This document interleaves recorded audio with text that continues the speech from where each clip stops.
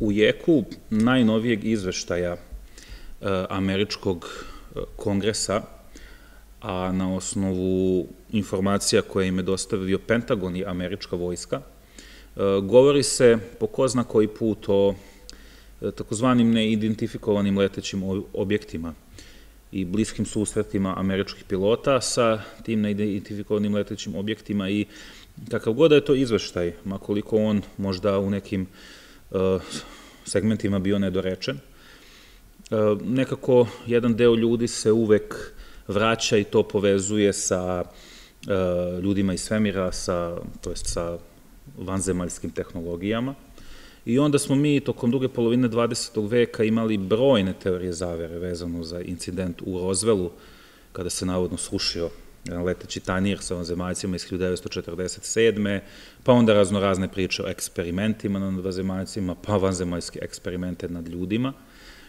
E, te teorije zavere su nekako pojačavane za vreme hladnog rata, oblast 51 u Sjedinjenim američkim državama, koje su često i namerno puštene, kako bi se iza tih priča, za koje nema nikakvih dokaza, e, radile neke tajne vojne operacije i kako bi kada pustite maglu u javnost, onda mogli u, u toj magli vi da radite neke stvari koje su konkretne.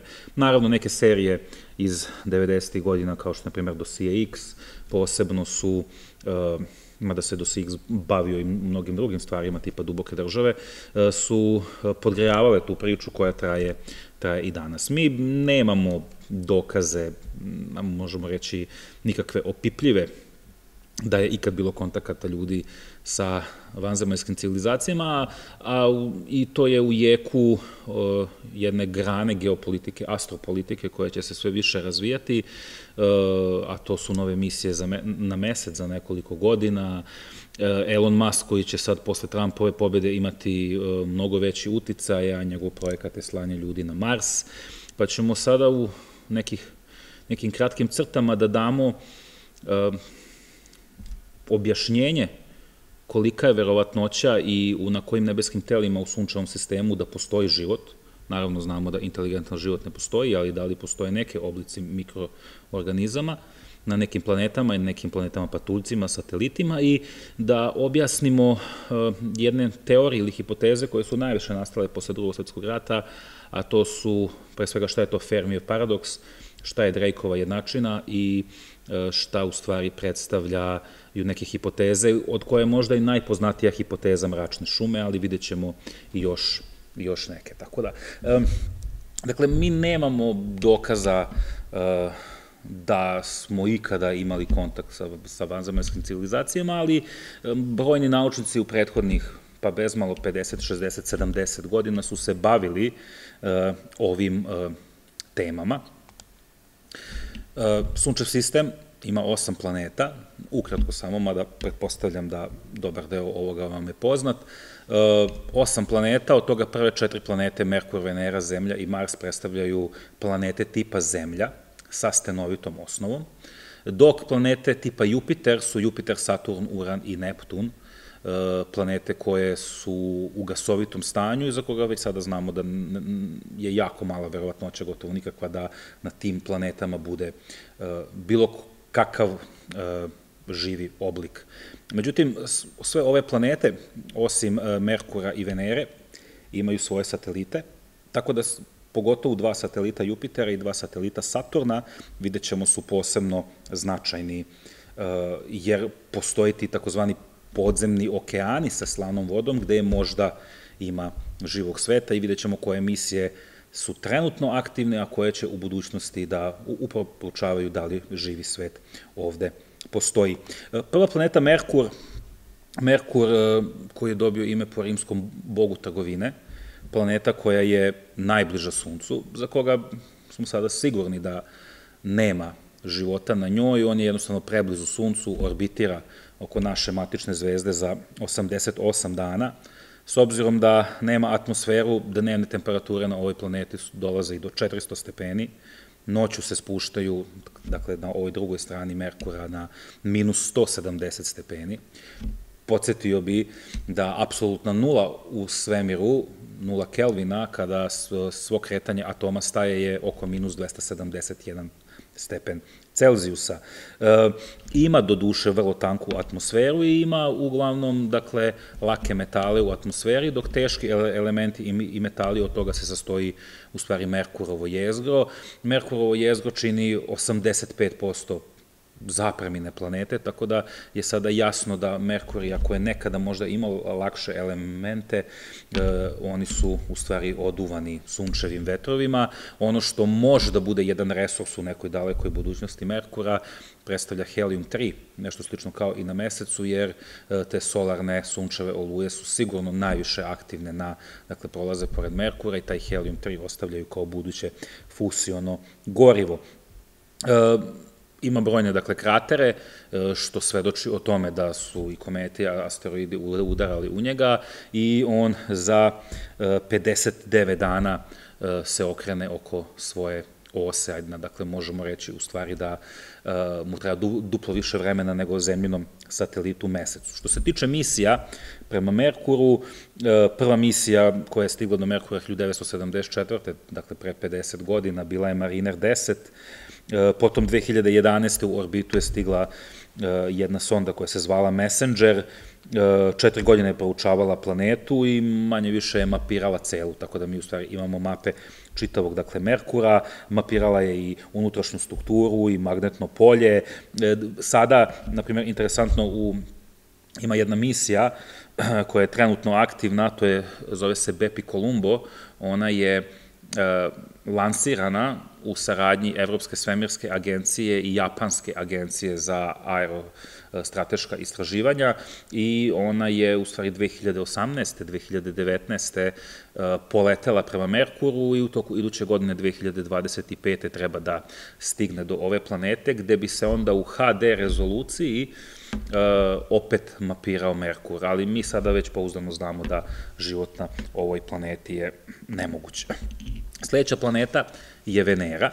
Venera uh, je najtoplija planeta u sunčevom sistemu i nazivaju je često zemljina bliznakinja, zato što uh, ima približnu veličinu, dakle kao kao naša planeta, uh, Venera kao nešto uvek što je pozitivno, što je lepo, ali to je u stvari jedna sve samo nije lepa planeta gde je efekat staklene bašte poodmakao, pa tako, na primjer, temperature uh, na Veneri idu i do 460 stepeni, pritisak, znači taj vazdušni stub na ovoj planeti je 90 zemljinih atmosfera, uh, Takođe, uh, eventualno ako postoji život na ovoj planeti, postoji u gornjim slojevima atmosfere u, u tim oblacima sumpora i metana gde, je ta, e, gde su te atmosfere nešto dakle manje. E, sumporovite kiseline padaju u vidu kiša na ovoj planeti, e, međutim oni ne dolaze do zemlje jer je toliko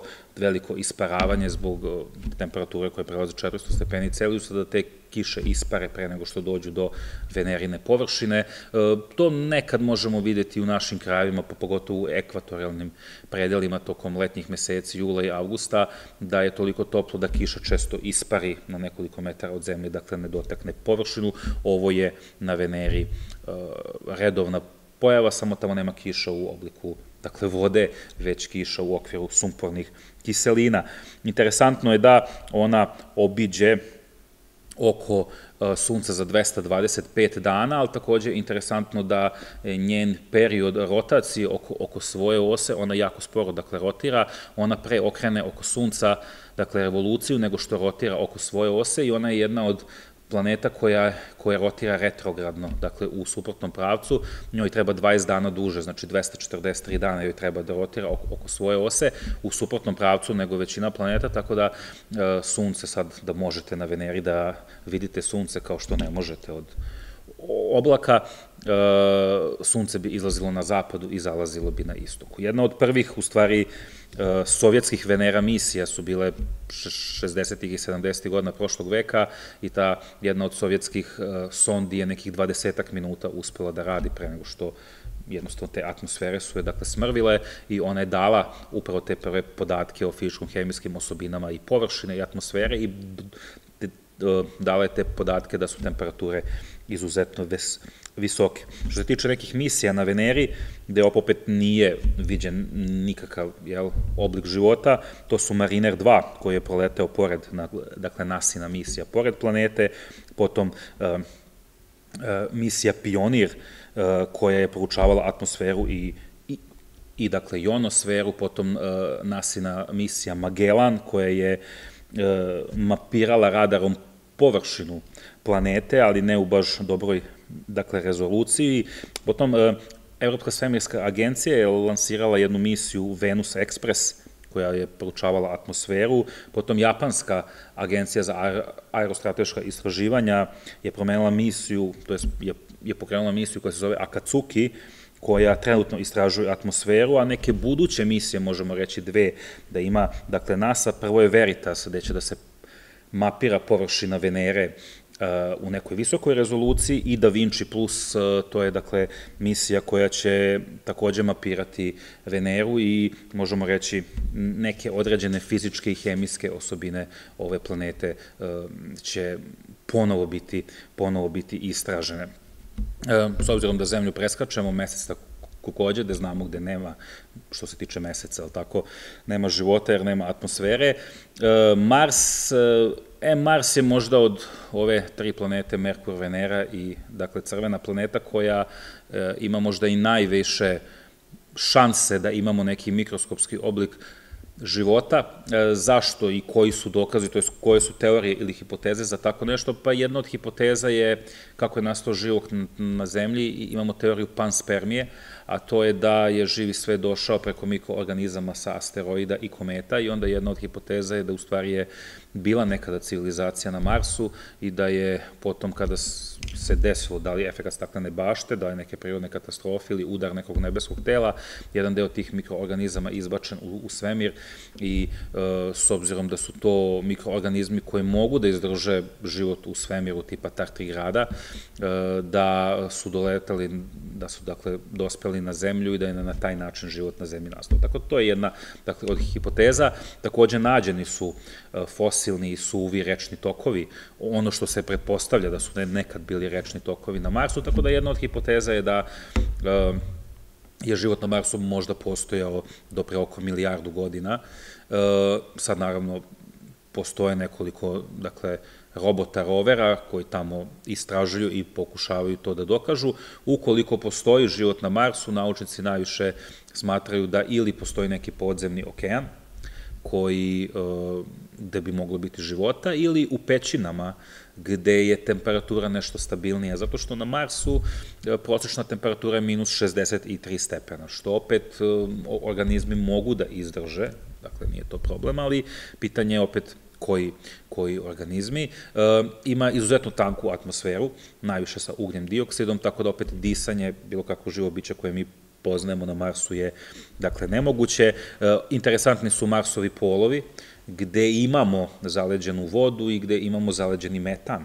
Tako da tu možda možemo očekivati da nađemo, nađemo život. Inače, ovo je Na ovoj planeti je najveći vulkanski sistem u sunčevom sistemu i Mount Olympus je najveća planina, to je najviša planina u sunčevom sistemu, 29 km je visoka, tako da ako poredite, to je tri puta je viša od Mont Everesta koji je na zemlji. E, me, Mars ima dva meseca, ima e, Phobos i Deimos, koji polako gube gravitaciju, to jest polako se približavaju Marsu, tako da se pretpostavlja da za nekoliko stotina, možda i desetina miliona godina će oni ući u Marsu orbitu, bit će smrvljeni Marsovom gravitacijom, tako da se očekuje da Mars dobije prsten oko sebe kao što ima, e, kao što ima Saturn, tako da se očekuje da, da to bude od ta dva meseca Fobosa i, i Deimosa. E, Interesantno je da Mars ima uh, trećinu zemljine gravitacije i ono što je takođe interesantno to je da on uh, rotira gotovo identično kao Zemlja. Dakle, Zemlja rotira oko svoje ose za 24 sata, to je do duše nešto manje, nekoliko sekundi manje, dok Mars rotira za 24 sata i 37 minuta, tako da može nekih pola sata više mu traje uh, duže, dakle, rotacija od Zemlje, tako da Marsovi dani se nazivaju Sol ili solarni dani koji su približno slični zemljinim, međutim njegova revolucija, s obzirom da je na većoj udaljenosti od Sunca, je 687 dana, tako da faktički skoro dve godine zemljine uh, mu traje revolucija oko Sunca. Inače, merne jedinice koji merimo uh, planete, um, udaljenost planeta jedne od druge su astronomske jedinice. Ne možemo meriti kilometrima, s obzirom da je eventualno rastojanje prosečno zemlja-mesec od tih 380.000 km možemo izmeriti, uzima se astronomska jedinica. Astronomska jedinica je jedinica za meru koja iznosi prosečno rastojanje od Sunca do Zemlja, to je 150 miliona kilometara. Naravno, da li je Perihel, da li je Afel i Zemlja, elipsoidno nekada je bliža Suncu na 149 miliona, u Afelu, to jest u Afelu, znači negde u julu mesecu je najdalja 152 miliona, Perihel je negde u 2. 3. januara. E, međutim, to, to pročno rastojanje je 150 miliona. I onda ako kažemo, na primer, da je Neptun udaljen 20 astronomskih jedinica od Sunca, znači da je 20 puta udaljen od tog rastojanja od kojeg je, od kojeg je Zemlja. E, Mars e, takođe je kroz tu prizmu crvena planeta, zato što e, ima velike ok okside, dakle gvožđa koji se vide kroz prizmu teleskopa. Brojne misije su išle na Mars, možemo samo neke naj možemo reći svežije i one koje su iz bliske istorije, Mars iz 2020. gde je u stvari rover Perseverance sleteo, potom e, brojne misije koje su izučavale klimu, nivo radijacije, pa ta, te fosilne doline koje se nalaze ovde takođe, e, na primjer Tianjin 1, to je kineska misija e, orbitera i ovaj rovera koja se nalazi trenutno na Marsu. Interesantno je, Mars ima godišnja doba, a ima godišnja doba zato što ima takođe nagnutu osu rotacije, približno 22,5 stepena kakve ima i ove zemlja, tako da je to još jedan od razloga zašto je barem nekada tokom te geološke prošlosti na Marsu postojao, dakle, život. Ja ne očekujem usled optimizma Elona Maska kad bi ljudi mogli da dođu na Mars i provere da li tamo postoji života, ali e, ja ne očekujem da će se to u nekih 20 godina sigurno desiti, pošto postoje brojni izazovi, iako astronauti u simulacijama već vežbaju ta kosmička putovanja, ne treba očekivati da će to biti u 2030. možda čak ni u 2040. Više razloga. Prvo, e, te, e, ti dakle, svemirski letovi mnogo je lakše kada se lansiraju sa meseca, jer mesec ima šestinu zemljine gravitacije i samim tim ta kosmička brzina od koja iznosi 8 km u sekundi na zemlji, mnogo je manja na mesecu, znači mnogo manje, to je više štedite goriva i dakle energije da biste lansirali, tako da se pretpostavlja da letovi na Mars će u stvari kretati sa meseca, E, kao usputne stanice, tako da prvo tu morate u narednih 5, 10 ili 15 godina tako nešto da ostvarite. Kao drugo, put na Mars e, traje u najboljem slučaju 8 meseci sa brzinom raketa koje imamo sada, e, jer položaj planeta moraju da se poklope da vi u stvari ne krećete sa zemlje ili sa meseca kad su planete najbliže udaljene jedna od ove druge, nego kad se približavaju, na pola puta ste kad su najbliže udaljene i onda kad se već polako udaljavaju, tada stižete na Mars i putovanje u najidealnijim takvim okolnostima je 8 meseci. Za tih 8 meseci opet to, to ne može da bude velika posada ljudi koje mora da boravi, mora da poneste dovoljno hrane, dovoljno vode. E, atrofija mišića je jedna od pojava koja je sve prisutna u stanjima bez gravitacije, e, koje već su is, iskusili, naravno, astronauti na Međunarodnoj svemirskoj stanici, ali opet to nije Međunarodna svemirska stanica koja je na 400 km visine u niskoj orbiti, već put na Mars traje. E, takođe, zaštita od potencijalnih solarnih vetrova, gama zračenja, radijacije koje imate u svemiru gde naše magnetno polje E, štiti i astronaute na Međunarodnoj svemirskoj stanici. Opet, e, astronauti na mesecu su blizu Zemlje, relativno na nekoliko dana, pa mogu da se sklone ukoliko se očekuje solarna oluja, šta će biti sa astronautima ako krenu na mesec, tada nema ovoj vraćanja nazad, jer u, u, u stvari leti se po inerciji, jel? Nemate dovoljno goriva ni da stignete tamo, ni da se vratite. E, takođe, kada dođu na Mars, e, oni mora da borave 14 meseci na Marsu, znači 14 meseci da se planete opet postave u idealan položaj i da se 8 meseci opet im treba da se vrate. Znači, to je misija od nekih 30 meseci, dve i po godine. E, mi trenutno, sigurno, naravno treba razmišljati o psihološkim dakle, uticajima na čoveka tokom te dve i po godine gde on ne može da se vrati kući kada on o, o, hoće. Tako da je i sam boravak na samom Marsu, gde opet vi mora da imate dovoljno kiselnika, dovoljno hrane, vode. To u stvari e, ne očekujem da u 2030. sigurno, možda ni u prvoj polovini ovog veka, nažalost, ako se sad toliko ne napreduje tehnologija da se može otići, otići na Mars. E, jedna od planeta Patuljka, za koje takođe možda postoji mogućnost da ima život, barem u mikroskopskim, e, u mikroskopskim razmerama, to je planeta koja je do, u stvari 2006. bila planeta, to je planeta Patuljak Pluton. Pluton faktički ima jedan, e, možemo reći, dvojni sistem sa svojim najvećim satelitom koji se zove Haron. Kao što možete vidjeti, e, Pluton ima još četiri satelita, to je Hydranix, Kerber i Styx. Jasno vam je da, da su nazivi iz grčke mitologije preuzeti i ova planeta je u stvari, to je Pluton je postao planeta 1930. 2006. je uh, izgubio status zato što su pronašli mnogo nebeskih tela sličnih, sličnih dakle Plutonu, uh, koji uh,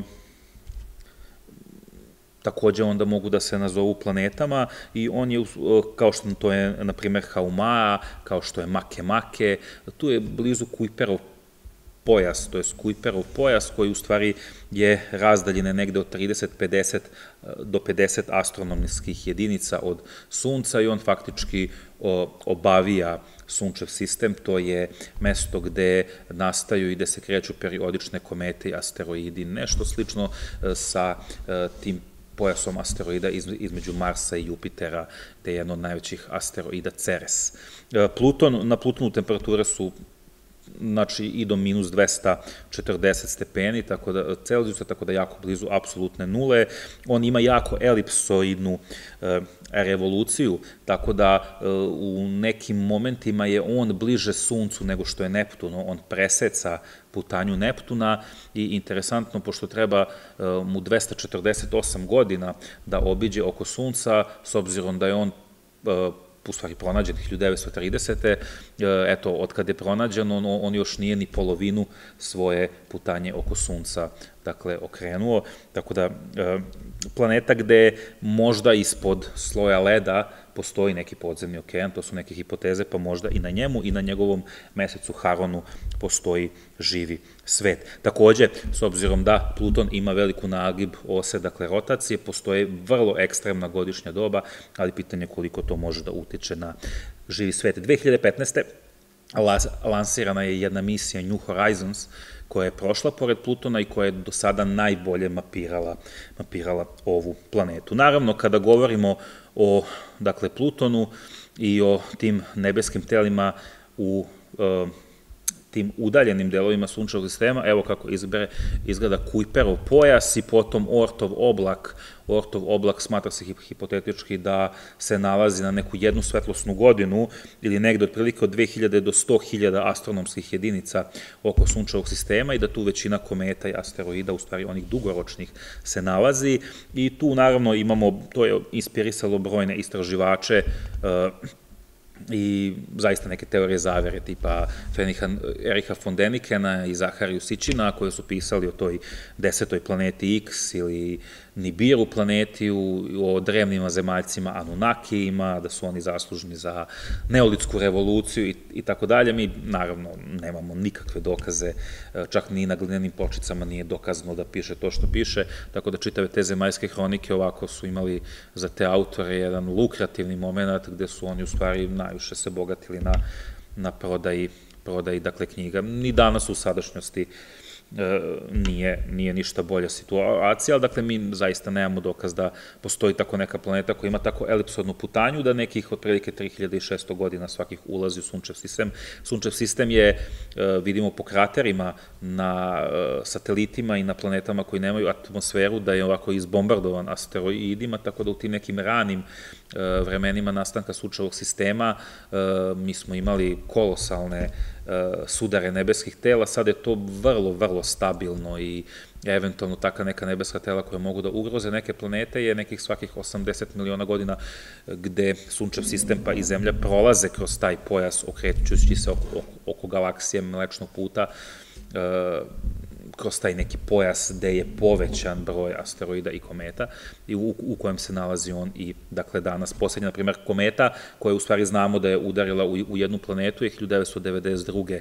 kometa Shoemaker-Levy koja je ovako prilično velikih razmera udarila u Jupiter, čak je i to snimljeno, da, dakle, uživo teleskopom, vidjet ćemo nešto kasnije kakav od jedno od ovih hipoteza ima i, dakle, Jupiter. Tako da, od nekih meseci, to jest od, od nekih satelita gde možemo očekivati da ima e, života, to su svakako oni sa podzemnim okeanima slane vode, što je dokazano ili hipotetiše. E, svakako jedan satelit Jupitera koji se zove Evropa, evo ga ovde, On, e, možemo reći da je najveći kandidat i za mogući život. E, ime je dobio po feničarskoj princezi koja je Evropi, koja je oteo Zeus i naravno naš kontinent se tako zove. Smatra se da se ispod debelog leda nalazi okean slane vode, čak i imamo površine e, sa pukotinama i šarama, kao što možete da vidite, što svedoči o geološkoj ak aktivnosti. Dakle, satelit je živ, što još ide u prilog da možda i postoji život. Jedan od najpoznatijih misija ovde je Europe Clipper i najviše će biti uh, mapirana Evropa. Ono što može da bude izazov svakako je radijacija Jupitera koja je izuzetno jaka tu, čak i za dakle, robote, i za, znači, a ne za ljudsku posadu i svakako i debeo led negde smatri oko 1000,5 km koje morate da li probiti, da li radarom ili nekim drugim sofisticiranim metodama detektovati da, da vidite da li postoji okean. E, naredni e, satelit se zove Encelades. Encelades je Saturnov satelit, prekrivene isto, dakle, ledom i zbog velikog albeda sunčevog zračenja, to je jedno od najsjajnijih nebeskih tela u sunčevom, u sunčevom sistemu. E, ima, dakle, četiri paralelne pukotine, najviše na južnom polu i one se nazivaju i tigrove pukotine iz kojih izbijaju gejziri. I upravo izbijanjem tih gejzira hladne vode 2005. E, je otkriveno i dokazano da postoji okean ispod tog dakle, leda. Da li u tom okeanu slane vode ima života, to treba još da se otkrije. NASA planira misiju Enceladus Orbit Lander, koja u narednih nekoliko godina treba da krene prema tom satelitu i da se detaljnije mapira, da prođe pored njega i da se možda nešto otkrije. Sledeći e, prirodni satelit je najveći satelit u sunčevom sistemu, e, satelit Jupitera, zove se Ganymed. Ganymed je, e, takođe smatra da ima okean ispod ledene površine udaljene nekih milion kilometara od dakle, Jupitera i interesantno da je on orbitalno zaključan. Što znači orbitalno zaključan? Znači da on rotira oko svoje ose istom brzinom o kojom rotira oko dakle, Jupitera, slično dakle mesecu. I mesec je tako rotira oko svoje ose za nekih 28-29 dana, isto i oko, oko Zemlje, zato mi uvek vidimo jednu stranu meseca, jel? Ono, onda kad se govori o tamnoj strani meseca, ta tamna strana meseca uopšte nije tamna, već je mi, dakle, ne vidimo. Faktički se vidi malo deo te tamne strane, nije to u potpunosti da je, dakle, mesec gravitacijono zaključan, ali što se tiče, eto, Ganime, da on ima istu istu dakle, situaciju. Smatra se da je ta ledena kora debljine oko 100 km, ima tanku atmosferu, čak i sa kiselnikom, ali naravno nedovoljno da bi najviše tu dakle, azota. Što se tiče misija, e, ovo je inače jedini satelit koji ima da je dokazano da ima magnetno polje za razliku od ostalih dakle, satelita i neke buduće misije, e, misija JUICE koju u stvari vodi, to je dakle skraćnica Evropska svemirska agencija, skraćenica od Jupiter Icy Moons Explorer, e, lansirana je u aprilu 2024. E, verovatno će to u, na, na početku 2026. da stigne do ovog satelita, tako da ćemo eto, imati prva istraživanja. Poslednji satelit, ali ne i najmanji maž, i najmanje važan je drugi po veličini u sunčevom sistemu, posle Ganimeda i najveći e, satelit Saturna, to je Titan, Titan koji ima jedan i po gušću atmosferu od dakle zemljine i to je interesantno, to je jedini satelit koji ima gušću atmosferu nego što dakle ima zemlja, međutim ta atmosfera se sastoji 95% od azota ima i kiselnika i drugih uh, ugljen dioksida, ali, na primjer, eto, poređenja radi Zemlja ima 78% azota, dok ovde na Titanu je 95. Uh, to je jedini satelit za koga je dokazano da ima tečne površinske tokove, ali to naravno nije voda, nego je metan, što opet dodatno komplikuje situaciju. Takođe se smatra da ima mogući ledeni okean ispred te hladne zamrzute kore, gde možda postoji dakle, živi svet. Najpoznatija misija Cassini prošla je pored ovog satelita 2005. i, i letelica Huygens ga je mapirala, ali što se tiče nekih budućih misija, e, za tri godine, 2027. planira se nova misija koja se zove Dragonfly i ta misija bi, dakle, trebala da e, detaljnije mapira ovaj satelit. E, naravno, ono što dodatno usložnjava priču gde bi mogao da postoji mogući život u svemiru, to u stvari predstavlja jedno od otkrića iz 1992. godine, a to su egzoplanete. Egzoplanete su planete koje e, se nalaze u nekim drugim zvezdanim sistemima u našoj galaksiji i e, nije se, dakle, nije se znalo to, pretpostavljalo se pre te 1992. da i oko drugih zvezda or, orbitiraju planete, ali to nije utvrđeno. Zašto nije utvrđeno? Pa zašto planete ne emituju svetlost. Oni mogu da ga reflektuju i samim tim ih je jako teško otkriti. Postoji nekoliko metoda e, kako su u stvari ti prvi teleskopi koji su otkrili egzoplanete početkom 90. kako su ih otkrili. Prvo je metoda tranzita, a to je da kada su, sateli, e, kada su teleskopi usmereni prema nekoj zvezdi, e, ukoliko e, sjaj u jednom kraju zvezde počinje da, da ovaj slabi, pretpostavlja se da planeta u, stvari, u, u svojoj rotaciji prolazi ispred zvezde. Dakle, to je jedna od metoda. Takođe, jedna od metoda je, dakle, radijalna brzina, to je taj takozvani Dopplerov pomak, a to je da e, zvezda usporava i ubrzava za nijansu zato što kao što zvezda gravitacijono utiče na planetu, tako i planeta gravitacijono utiče na ovaj zvezdu, pa jedna od metoda je takođe i e, takozvana vibracija zvezde, gde zvezda ukoliko ima određene planete u svojoj orbiti, e, to jest u svom sistemu, ona blago oscilira zato što gravitacione, dakle, uticaji planeta idu i, i na tu zvezdu i onda od stepena vibracija koje se vide to u teleskopu utvrđuje se koliko ima planeta, koliko su udaljene, pa onda ako su udaljene u, uz fizičke hemijske osobine te zvezde, procenjuje se da li su te planete u nastanjivoj zoni, nisu u nastanjivoj zoni, koliko ih ima, kolike su veličine i tako dalje. I znači, postoji direktno snimanje, direktno snimanje tih egzoplaneta kada se vidi gde su. Ovde možete da vidite koje su najpoznatije egzoplanete gde možda postoji život, svakako Proxima Kentaura B, e, to je planeta u dvojnom sistemu zvezda Alfa Kentaura, Proxima Kentaura, mada smatra da, da postoji još jedna treća zvezda, ona je udaljena četiri svetlosne godine od nas. Svetlosna godina je u stvari nije vremenska jedinica, to je merna jedinica koja svetlost pređe za godinu dana, otprilike negde oko 9,5 biliona kilometara, tako da i sam odlazak četiri svetlosne godine je uz nekih desetine hiljade godina sadašnjoj e, ljudskoj civilizaciji nemoguće. E, potom svakako e, planeta Kepler. Planeta Kepler ima ih nekoliko, koje, a najpoznatija je planeta Kepler 452b, koja je u sazvežđu Labuda, udaljena od Zemlje 1400 svetlosnih godina, čak na jednoj skali ona ima veći procenat života nego što ima Zemlja, to je interesantno. Ako o, imate skalu od, od 0 do 1, da je, du, da je 0 potpuno nemoguć život, a, a, a da je 1 e, vrednost 1 na nekoj planeti potpuno moguć život, e, Kepler e, ima vrednost 0,85 dok, na primjer, Zemlja ima 0,83.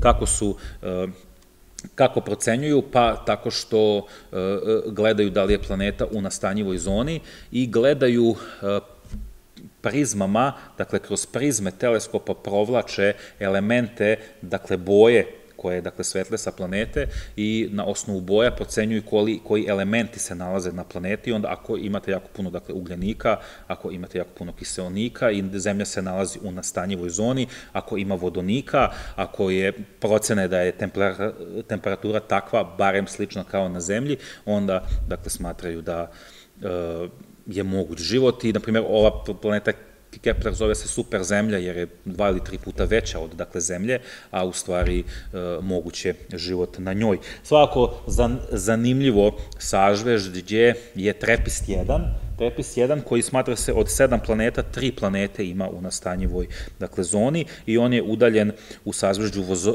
u sazvežđu Vodolija nekih oko 40 svetlosnih godina od nas. E sad, da li zaista ima života na zemlji, neki su pokušali to da izračunaju. To je svako bio Frank Drake, koji je jedan od osnivača SETI programa Search for Extraterrestrial in, in, Intelligence, nešto što je radio i e, dakle i Carl Sagan, dakle sve u, da kažemo, posle drugog svetskog rata, pogotovo u 60. i 70. godina prošlog veka, ovo je Drakeova jednačina, koja procenjuje koliko bi moglo biti života u našoj galaksiji. Ovo je naravno puko hipotetički, ali eto, bar je neko pokušao da nekim naučnim metodama pokuša to da izračuna, e, pa čisto ako, kažemo, u par rečenica da objasnimo šta znači ova jednačina, ovo N predstavlja broj civilizacija u našoj galaksiji, sa koje možemo da uspostavimo kontakt. Dakle, mi u stvari gledamo koliki je taj broj civilizacija. R predstavlja godišnju stopu formiranja zvezda, i smatra se da je ona jedan. Znači, smatra se da svake godine po jedna zvezda se formira u našoj galaksiji. E, ovo FP u stvari predstavlja zvezde koje imaju planete. Smatra se da od te jedne zvezde koja nastaje, 20 do 50% njih imaju planete u, u, u svom sistemu. Ovo NE predstavlja broj planeta koji mogu podržati život, e, smatra se da negde jedna do dve planete u svakom od tih sistema može da podrži život. E, potom FI predstavlja planete na kojima se razvija život, opet to nije više od jedne. E, potom FC su civilizacije sa tehnologijom međuzvezdane komunikacije, što je još manje. I L predstavlja očekivani vek trajanja tih civilizacija. Jednačina je napisana 1961. i ona je za, opet jako, ima veliki raspon. Drake je tu izračunao da minimalno u nekoj najpesimističkijem scenariju ima 20 civilizacija u našem, našoj galaksiji, a u najoptimističkijim oko 50 miliona, jel? Ako znamo da u uh, mlečnom putu naše galaksije imate oko 200 milijardi zvezda, 50 miliona i nije toliko veliki broj kada pogledate, dakle, procenat. Na osnovu svega ovoga, postoje jedan uh, sovjetski naučnik, uh, on se zvao Nikolaj Kardašev. Nikolaj Kardašev je uh, civilizacije podelio na tri tipa. E, to je uradio 1964. godine na civilizacije tipa 1, tipa 2 i tipa 3. Civilizacija tipa 1 e, je ona koja kontroliše energiju matične planete. Interesantno, naša civilizacija još nije dostigla e, nije dostigla tip 1. Smatra se da smo mi negde na 0,8.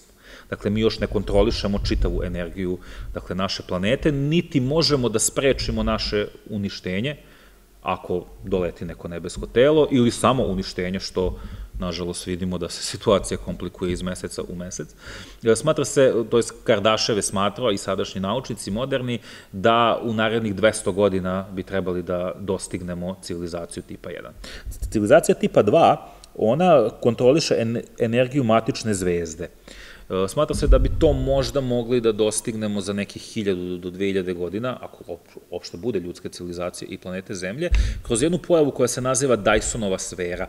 To je naravno hipotetički sfera koja tada kada je izmišljena 60. godina prošlog veka trebala je da predstavlja grupu satelita i nekih vrsta ćelija, kojih, dakle, satelitskih, koji treba da obaviju sunce i crpe energiju sunca. I faktički civilizacija tipa 2 onda ima beskonačne izvore energije. Naravno, sada su to malo moderni naučnici modifikovali, smatraju da nanotehnologijom mogu u stvari da imaju te male ćelije koje će u stvari da obaviju sunce. E, naravno, civilizacija tipa 3, to je kontrola energije e, čitave galaksije i smatra se da hipotetički to ljudska civilizacija može dostići za 100.000 do milion godina. Tako da, aj kažemo, Kardašev se ipak potrudio da e, nešto, da uradi neku skalu, naravno ima posle i modifikacija tih skala, civilizacije tipa 4, 5, 6, multiverzum, čak je naš čuveni astronom i astrofizičar Milan Čirković dao neku svoju klasifikaciju, tako da to je, ajde kažemo, nešto što su i naši i strani naučnici pokušavali da otkriju što se tiče života na Zemlji. Ono što je posebno interesantno za svakako male zelene ili male sive i da li ih ima ili nema, je takozvani Fermijev paradoks. Fermijev paradoks je nastao 1950. godine. Jedan astronom Enrico Fermi je, kada su ga pitali tokom jednog ručka u restoranu, pa dobro, evo, priča se i o Rozvelovom incidentu i o svi tim letećim tanjirima koji padaju kao kruške, čak je tad bila i jedna priča da u Njujorku nestaju uh, kontenjerske kante, pa da to navodno mazemajci sklanjaju, znači svake, svake priče su se dakle pričale i onda je Enrico Fermi postavio uh, jedno pitanje, a to je pa dobro, evo, ja se slažem ako vi kažete da, da postoje druge civilizacije, ali gde se oni nalaze? I dakle, to je u stvari njegov paradoks gde je on uh, prvi postavio pitanje, pa ako oni postoje, kako ih mi još, dakle, nismo videli. I ovde, dakle, možete da vidite neke od, ajde kažemo, rešenja tih paradoksa. E, u stvari, smatra se da je jedan sovjetski naučnik koji se zvao Konstantin Cijolkovski, da je on između dva svetska rata prvi e, hipotetiso upravo da ta, tu vrstu paradak, e, paradoksa je on dakle, razvio, ali dakle, e, Fermi je neko ko je u stvari to popularizovao i sad onda postoji rešenja naj, možemo, realnija zašto mi još nismo došli u, u kontakt sa civilizacijom, pa pre svega velike udaljenosti. Svemir je ogroman, mi zračimo u svemiru sa prvim radioprijemnicima i sa prvim televizorima nekih otprilike 110, 120 dakle, godina, znači mi smo u stvari otišli 110, 120 godina već svetlosnih jeli, E, nismo dobili odgovor, znači od neke civilizacije koja možda 50-60 godina svetlosnih od, od nas, da ode signal da se vratim i još tako nešto nismo dobili. Takođe, jedan od rešenja Fermijevog paradoksa je kratak vek civilizacije, da svaka civilizacija, ukoliko može da podrži E, međuzvezdana putovanja je već razvila neku vrstu naoružanja i da će da se samo uništi pre nego što dostigne kontakt sa drugom civilizacijom. To, eto, ko zna, da li će to biti i sudbina ljudske civilizacije na zemlji. E, takođe, nesposobnost za detekciju, da negde postoje civilizacija, ali da nisu na, na tom tehnološkom razvoju i svakako da je tu onda i e, taj četvrti, dakle, razlog, a to je neka zamišljena opasnost, a kad se govori o zamišljenoj opasnosti, tu mora onda kao zaključak da govorimo o hipotezama. Najpoznatija hipoteza je hipoteza mračne šume. Ona je već nekoliko godina e, izražena, možemo reći da početkom 21. veka je dobila neki svoj oblik. Najviše je popularizovana je jedan kineski naučnik i pisac, zove se Liu Cixin, je napisao jedno delo koje je sada njegova prva knjiga, je, to je u stvari besede o zemljenoj prošlosti koja ima tri toma. Prva knjiga možete na Netflixu da je pogledate, to je problem tri tela, dok druga knjiga koja će isto biti e, ekranizovana u stvari koja se zove Mračna šuma. U stvari ta hipoteza govori o tome da se civilizacije kriju zato što svaka napred, tehnološki napredna civilizacija gleda da preventivno uništi drugu civilizaciju kako ne bi bila uništena sama i onda da se civilizacije kriju i e, što se kaže da, e, kako su oni to, dakle, rekli da se tiho kreću kroz galaksiju, kako bi bile maksimalno nečujne za, dakle, druge civilizacije, a zove se hipoteza mračne šume, da to je kao zver koja se nalazi u mračnoj šumi i ovaj, vreba svoj plen i onda da jednostavno ona je zbog toga nevidljiva ili, ili teško, teško uočljiva. Zato se zove hipoteza mračne šume koja je ovako, možemo reći, dosta, dosta dakle, zlokobna. Kao što možete vidjeti, ima tu još dakle, hipoteza koje su ovako, naravno, u domenu naučne fantastike, ali eto, ljudi se bar trude da objasne. To je svakako hipoteza o velikoj udaljenosti, kao što smo rekli, rastojanja su ogromna i za signale detektovane, pa čuveni taj wow signal koji je uh, u Ohaju na univerzitetu nastao početkom 70. godina prošlog veka, da je u stvari jedan astronom uh, preko tog programa hvatanja signala uhvatio jedan pravilan uh, niz brojeva i ove slova što nije uobičajeno iz svemira, on je trajao par minuta, taj signal nestao je i on, on, onda je na tom izvodu papira taj astronom napisao na engleskom wow, dakle duplo V, O, duplo V i zato se nazvao wow signal.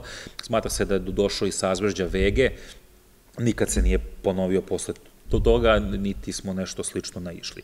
Svakako, jedna od hipoteza je hipoteza o zološkom vrtu, da u stvari vanzemaljske civilizacije nas posmatraju, ali da se ne mešaju u naše, dakle, život i u, dakle, ljudsku civilizaciju, jer nismo dovoljno tehnološki napredni. To je nešto slično kao i zašto se zove, zoološki vrt, pa u zoološkom vrtu ili u nekom prirodnom rezervatu vi imate čuvare, lovce koji prate, dakle, divlje životinje i ne mešaju se u taj lanac, lanac ishrane. Jedna od takođe teorija ili hipoteza je hipoteza o redkoj zemlji, a to je da je zaista život redak u svemiru zato što moraju da se poklope kockice i mozaik e, kako bi e, neka vrsta živog sveta nastala, da li slično zemlji ili nekako drugačije, ali da je na zemlji to moguće iz nekoliko razloga, pa prvo je da ta planeta mora da se nalazi u nastanjivoj zoni, znači mora da ima određenu fizičke hemijske osobine, temperaturu. E, Zemlja, na primjer, se nalazi u nastanjivoj zoni još uvek, ali se zna da nekoliko milijardi godina sunce će početi da se širi, dok se ne, naravno ne, ne, kada istroši sav vodonik koji se pretvara u dakle helijum, nastaće beli patuljak, pre toga će se širiti toliko će se sunce raširiti da će faktički progutati i dakle zemlju i negde nastanjiva zona tada će biti verovatno Jupiter Saturn.